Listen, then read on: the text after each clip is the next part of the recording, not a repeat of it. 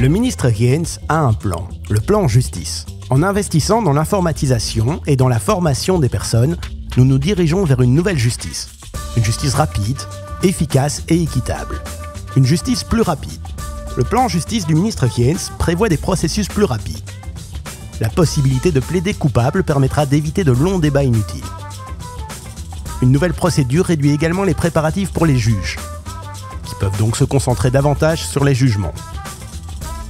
Enfin, l'introduction d'une injonction de payer va réduire la charge de travail liée à la perception des amendes impayées. Une justice plus efficace. Nous veillons à une meilleure gestion des coûts, tels que les frais de justice des enquêtes, les analyses ADN, la téléphonie, les coûts d'envoi et les frais de fonctionnement généraux. Nous allons aussi gérer plus efficacement les bâtiments pour une modernisation et une rationalisation. Toutes les instances judiciaires, les avocats, les huissiers de justice et les notaires pourront communiquer plus rapidement et par voie numérique grâce au système e-box et e-deposit. Résultat? Fini la paperasserie ainsi que la charge de travail et les frais d'envoi qui s'y rapportent. Par exemple, aujourd'hui, les juges de paix envoient chaque année des dizaines de milliers de courriers recommandés aux moniteurs belges. À l'avenir, ils pourront envoyer ces documents via l'e-box.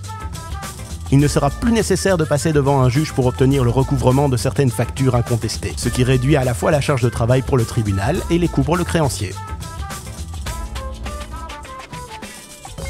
Une justice équitable.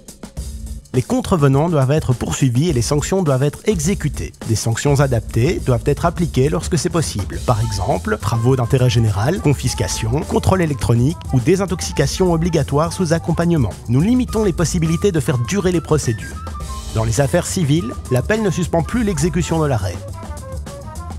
Sans motif d'absence valable, il n'est plus possible de faire opposition devant le même juge dans les affaires pénales. Nous œuvrons à un traitement humain des personnes internées, qui recevront des soins adaptés. Enfin, nous procéderons effectivement au recouvrement des amendes de roulage auprès des étrangers. Découvrez l'intégralité du plan sur bondénavant.be et faites-nous part de votre opinion. Toutes vos suggestions et remarques sont les bienvenues.